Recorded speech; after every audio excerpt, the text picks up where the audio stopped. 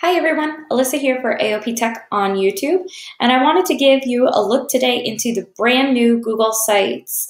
Um, it just launched on our G Suite domain today. Uh, it may or may not have yet rolled out yet for your school domain, but give you a first look in and we can take a look and get some first impressions together.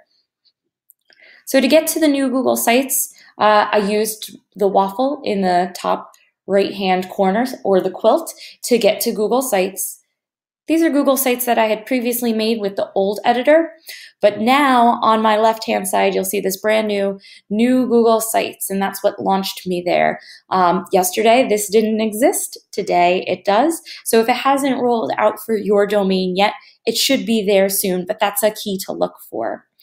Something I've already noticed and really like is that the Google Sites are now hosted and saved in Drive.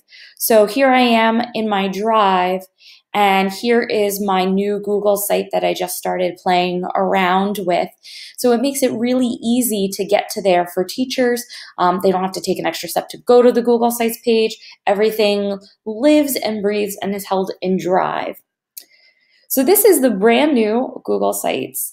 Uh, and it's very clean, it's very modern, and it reminds me a lot of Google Forms. So, a few things that I've already played around with and, and noticed, and know that AOP Tech will be hosting some more tutorials and more specifics into editing and utilizing Google Sites. We're just taking a brief overview today. So, on the right hand side is where your main editor is. Uh, up top, you can insert text boxes, embed URLs.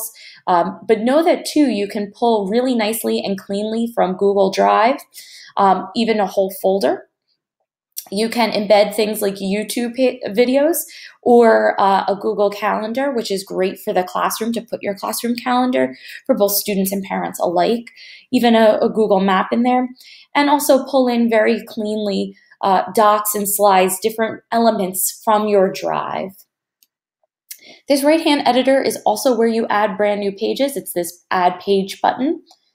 And there's also a place to select different themes. There's a couple really sleek, clean looking themes here. It looks really professional and you can play around with the colors or font styles uh, associated with your Google site, uh, but really clean editing uh, on, on the look and feel of your site. I've already inserted a couple pieces of uh, of content here on my Google site. Um, the nice thing is that these are drag and drop features, which is so much more user friendly than Google Sites was, in my opinion, before that. So it's great to to be able to to do that. You do get a little editor on the side for your sections. You can add in images or delete them. Each content piece has their own editing tools in there, um, which is great. You can embed links into images. A lot of what you can do in the rest of the Google suite is now done the exact same way uh, in your new brand new Google sites.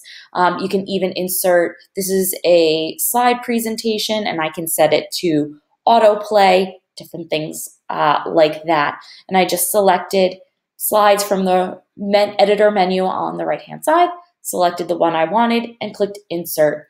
Then I can drag and drop to move things around.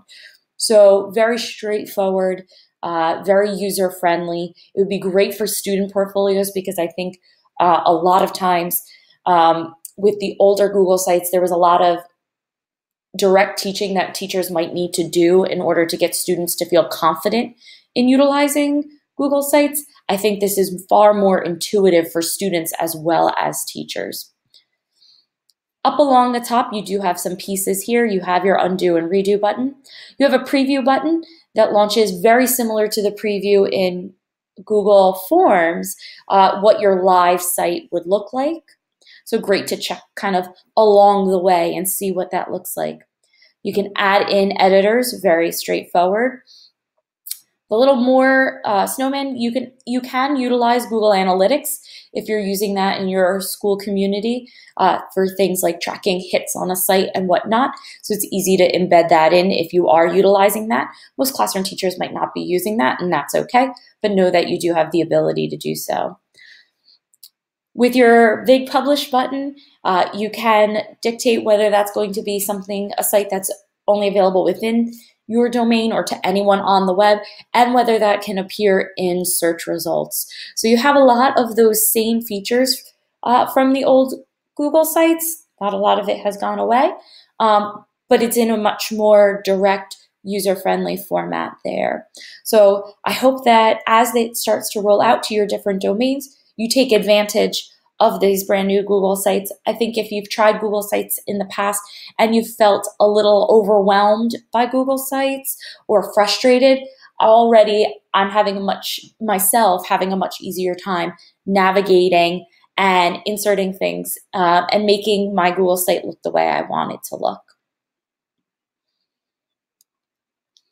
As always, feel free to subscribe to AOP Tech on YouTube, and you can follow us as well on Twitter, Facebook, Pinterest, and Instagram for all the latest G Suite updates as well as all things ed tech.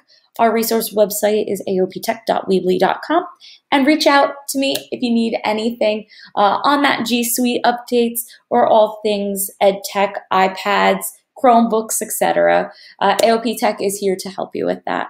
Have a great day.